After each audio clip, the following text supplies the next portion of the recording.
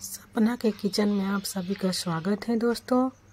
आज मैं आप लोगों के साथ बिना लहसुन, प्याज वाली आलू परवल की सब्ज़ी रेसिपी लेकर आई हूँ। देख सकते हैं आप, नवरात्रि का सीज़न चल रहा है फ्रेंड बहुत सब, बहुत लोगों के घरों में बिना लहसुन, प्याज वाली सब्ज़ी बनती है। तो चलिए आज हम उसकी रेसिपी आप सबको बताते हैं। देख सकते हैं हमारी सब्ज़ी कितनी अच्छी बनी हुई है। ये खाने में उतना ही टेस्टी वाला जवाब है। अगर मेरी रेसिपी आप सबको पसंद है फ्रेंड तो मेरे चैनल को लाइक सब्सक्राइब एंड शेयर करना ना भूलें। तो चलिए अब हम सब्ज़ी बनाने की तैयारी कर लेते हैं। कढ़ाई में हमने यहाँ पर चार चम्मच तेल डाल लिया हुआ है। अब हमने यहाँ पर कटे हुए परवर को डाल देना है। सब्जियों को हमने अच्छी तरह से छीलकर काट कर धो लिया हुआ है। देख सकते हैं हमने सारे सब्जियों को कढ़ाई में डाल दिया हुआ है। हमें इसे अच्छी तरह से चलाते हुए भून लेना है। सब्जियों को हमें अच्छी तरह से भूनना है फ्रेंड। जब तक कि हमारी सब्ज़ी सॉफ्ट ना हो जाए और कलर भी इसका चेंज ना हो जाए, सब्ज़ी को हमें भूनने में चार से पाँच मिनट लगेंगे। देख सकते हैं हल्का हल्का हमारे परवल का कलर चेंज हो रहा है, लेकिन हमें इसे अभी और भूनना है थोड़ी देर। ये सब्ज़ी खाने में बहुत ही टेस्टी लगती है। मसाले के लिए हमने यहाँ लहसुन, अदरक और दो टमाटर लिया हुआ है। हम इसका भी बारीक पेस्ट तैयार कर लेंगे। देख सकते हैं फ्रेंड, जो परवर की है, वो अच्छी तरह से भून चुका है। तो अब हम इसे इसमें हम उबले हुए आलू को डाल देंगे। हमने यहाँ पर तीन से चार आलू को उबाल कर छील कर काट लिया हुआ है। इसे भी हम इसमें डाल देंगे। और साथ में दो से तीन मिनट के लिए हमें इसे अच्छी तरह से भून लेना है, दोनों भी एक साथ। आप भी इस रेसिपी को एक बार ज़रूर ट्राई करें फ्रेंड और कमेंट बॉक्स में कमेंट करके बताएँ रेसिपी आप सबको कैसी लगी। दो से तीन मिनट हो गए हैं फ्रेंड आलू और परवर हमारे भूंज के रेडी हो गए हैं। देख सकते हैं आप। तो चलिए अब हम इसे एक प्लेट में निकाल लेते हैं। कढ़ाई में हमने फिर से दो चम्मच तेल डाल दिया है। यहाँ पर हमने कुछ खड़े मसाले लिए हैं। खड़ा जीरा, दो लाल मिर्च, दो से तीन इलायची, एक दालचीनी और एक बड़ी इलायची ली हुई है। साथ ही हम इसमें एक तेज़पत्ता डालेंगे। इन सारी चीज़ों को हमें अच्छी तरह चटकने देना है।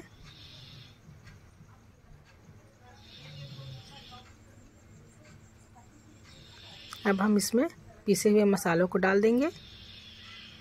मसालों को हमें अच्छी तरह से धोकर डाल लेना है।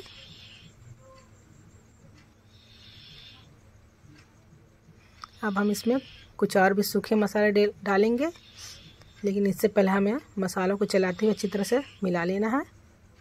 तो चलिए अब हम इसमें कुछ सूखे मसाले ऐड करते हैं। आधा चम्मच हल्दी पाउडर डालेंगे फ्रेंड। साथ ही हम इसमें एक चम्मच लाल मिर्च पाउडर डालेंगे, इससे काफ़ी अच्छा कलर आएगा सब्ज़ी में हमारी। और हम यहाँ पर दो चम्मच धनिया और जीरे का पाउडर डालेंगे। साथ ही हम इसमें स्वाद अनुसार नमक डालेंगे। मसाला हमें थोड़ी अच्छे से डालना है, क्योंकि बिना लहसुन प्याज वाली सब्ज़ी है फ्रेंड। तो आप इसमें थोड़ी मसाला ज़्यादा ही डालें पिसे हुए, ताकि हमारी जो सब्ज़ी थोड़ी थिक और गाढ़ी बने। तभी ये खाने में अच्छी लगेगी। आप देख सकते हैं, मसाले से हमारा तेल भी सेपरेट हो रहा है, पर हमें अभी मसालों को अच्छी तरह से भूनना है। मसालों को हमें ढककर कवर कर देंगे, और गैस का फ्लेम हमें यहाँ पर मीडियम ही रखना है, ताकि जो हमारा मसाला है वो जले ना। और बीच बीच में ढक्कन हटाते हुए हमें इसे चलाते रहना है। मसालों को हमें अच्छी तरह से भूनना है, फ्रेंड, तभी हमारी सब्ज़ी अच्छी लगी खाने में। देख सकते हैं आप। अब हम इसे थोड़ी और देर भूनेंगे।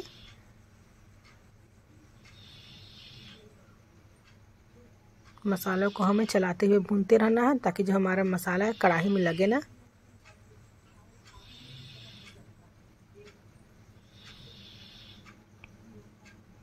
देख सकते हैं, मसाला हमारा अच्छी तरह से भुन चुका है। मसालों को भूनने में हमें पाँच मिनट से छः मिनट लगा है, फ्रेंड। तो चलिए हम इसमें सारी सब्जियों को डाल देते हैं। इन्हें हमें अच्छी तरह से मसालों के साथ मिलाते हुए दो से तीन मिनट के लिए भून लेना है।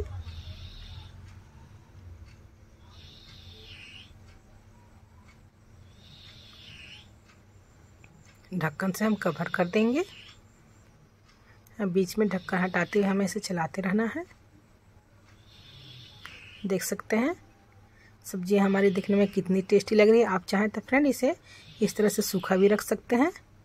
लेकिन हम इसे थोड़ी हल्का पानी डालकर गाढ़ा और थिक बनाएँगे। तो देख सकते हैं सब्ज़ी हमारी अच्छी तरह से भून गई है। हम आलू को हल्का हल्का यहाँ पर मैश कर देंगे कड़छी की मदद से। इससे हमारी जो सब्ज़ी है गाढ़ी बनेगी, तभी सब्ज़ी खाने में अच्छी लगेगी। देख सकते हैं आप। तो चलिए अब हम इसमें थोड़ा सा पानी ऐड कर देते हैं। पानी को हमें अच्छी तरह से सब्जियों के साथ मिला लेना है।